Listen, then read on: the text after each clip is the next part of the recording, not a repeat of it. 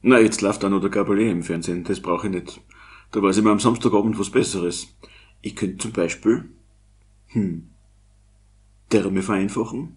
Das ist eine gute Idee. Da hätten wir schon einmal die erste Aufgabe.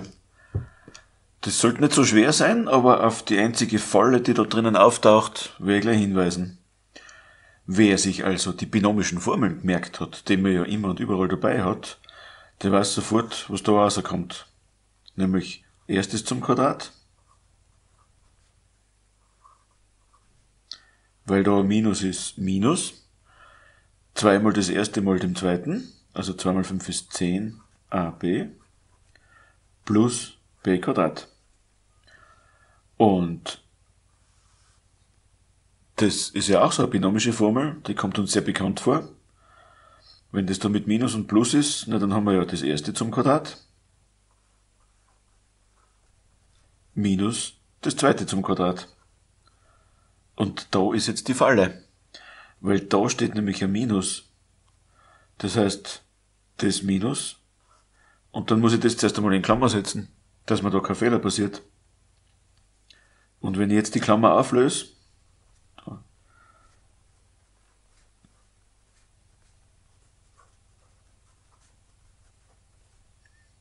dann geht ja das Spiel folgendermaßen. Ich lasse das Minus und die Klammern weg, dafür drehen sich innen drin alle Vorzeichen um. Aus dem Plus wird ein Minus und aus dem Minus wird ein Plus. Gut. Nächster Schritt. Gleiches zusammenfassen. 25a Quadrat minus 25a Quadrat, das verschwindet. Minus 10ab haben wir plus b Quadrat plus b Quadrat sind plus 2b Quadrat. Das geht aber noch weiter. Da kann ich nämlich was herausheben. Und zwar, das sägen alle sofort, 2b, dann bleibt mir da übrig minus 5a plus b. Und das ist etwas, was ich als Mathematiker schon überhaupt nicht mag, wenn da als erstes da ein Minus da ist. Optisch schier, sage ich da immer. Dann tun wir das noch gescheit sortieren.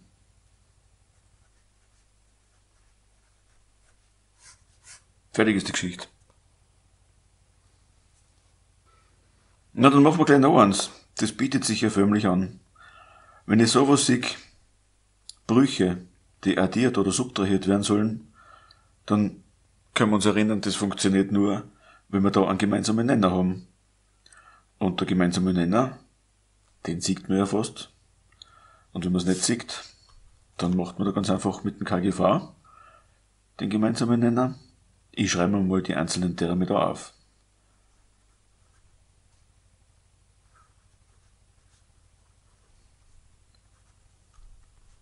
So. So sieht man natürlich noch nichts, aber jetzt zerlege ich dir mal.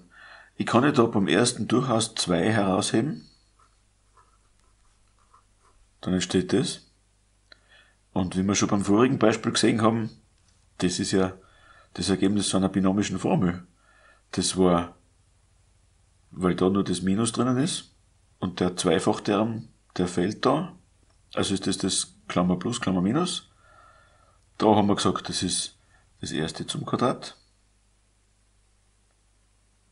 minus das zweite, das erste plus das zweite. Und bei 2 haben wir den Zweier. KGV.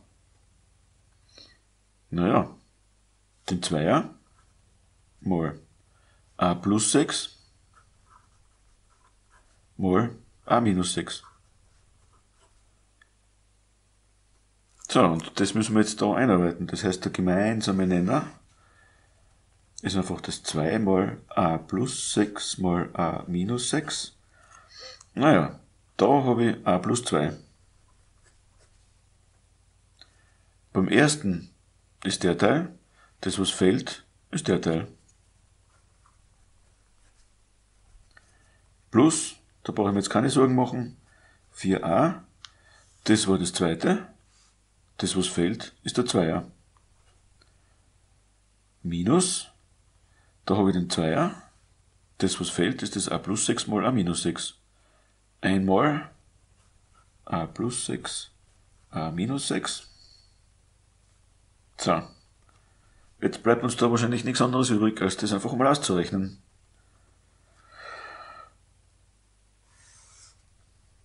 Ich nenne das einfach Hauptnenner, bevor ich da lang herumschreibe. Jetzt kann man mal da ein bisschen zuschauen, ob ich da einen Fehler mache jetzt beim Rechnen.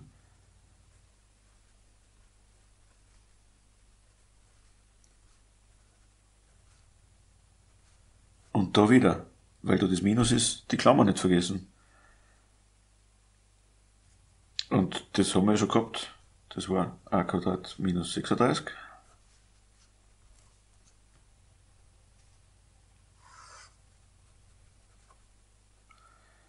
Klammer auflösen. Ach, das hätte ich schon zusammenfassen können jetzt da, aber mein Gott, na, wer schreibt halt gern? Minus und Klammern weg. Aus dem Plus wird ein Minus, aus dem Minus wird ein Plus.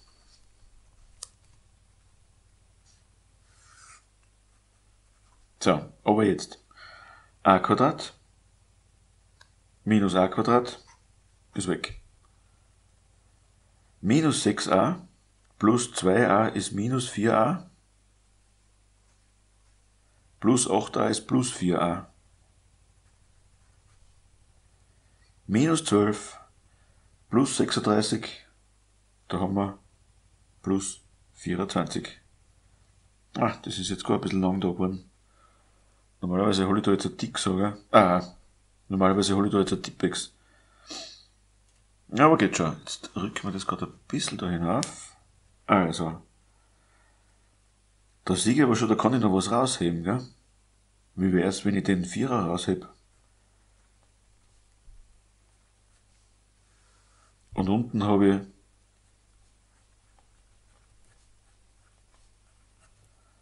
Ja, da geht ja das Kürzen noch weiter. Ich kann ja da das kürzen. Und ich kann da das kürzen. Dann bleibt mir letztendlich übrig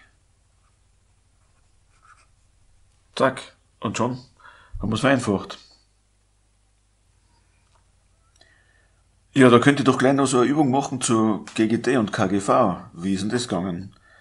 Wenn ich da den Ausdruck hab,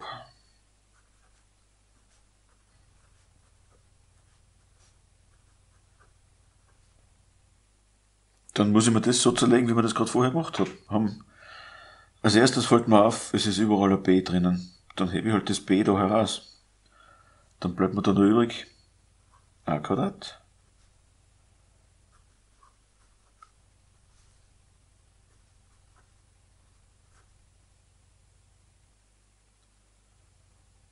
Und spätestens jetzt fällt mir auf, dass das doch eine binomische Formel ist. Ha! b mal, das war das mit dem Minus, also steht da in der Mitte ein Minus, das erste zum Quadrat, das zweite zum Quadrat. Ja, also das zum Quadrat kommt das raus. Und das ist ja nichts anderes als wir a minus 2b mal a minus 2b. Dann habe ich den zweiten Ausdruck.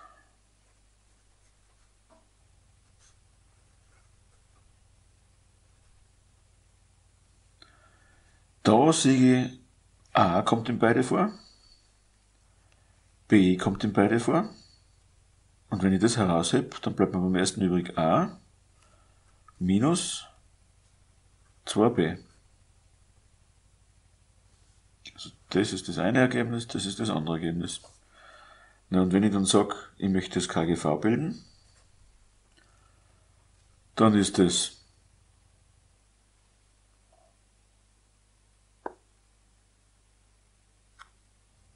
a b